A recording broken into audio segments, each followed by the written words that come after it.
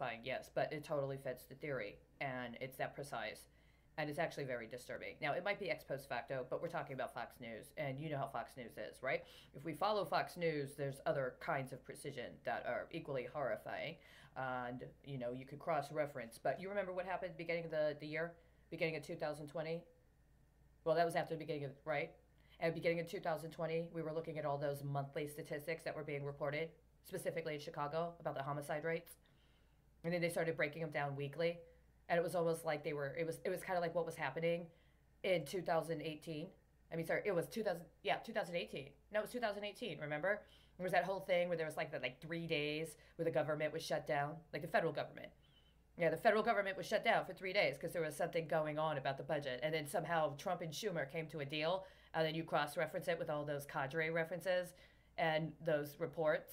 And then you cross reference it with the reports to the IAEA about Fukushima. And you were like, whoa, wait a second.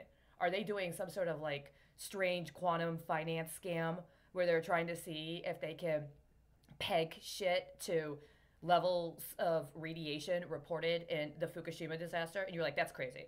There's no way. There's no way they can actually do that. And then you're like, well, what if they think that they're some sort of like quantum physicist, right? And that they're going to see if they can actually find a way to impact the readings or what's reported as the readings on radiation from Fukushima, so that they can use it as some sort of rate in which to peg their deals. Right. Well, the cadre thing didn't work out, but what did work out, right? those homicide. Yep.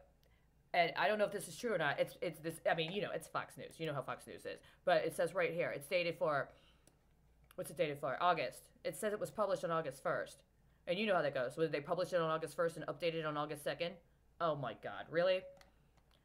Right. And this is what it says Chicago homicides increase 50% in 2020, 139% in July alone. 139% increase in July of 2020. Uh, that would be a year before July of 2021, which we got coming up. But what else was going on in July 2020?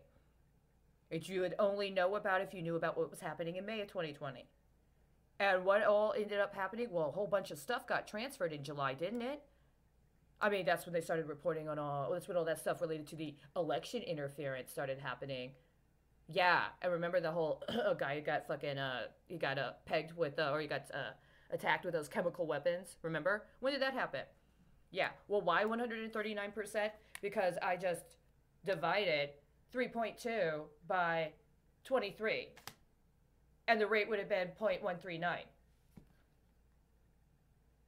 So did somebody literally set it? I mean, come on, think about it. You know what was also going on in July? That AIG 10 year. That 10 year on AIG, and they hit a 0.139 on a 139% increase in reported homicides in July when all this shit's transferring.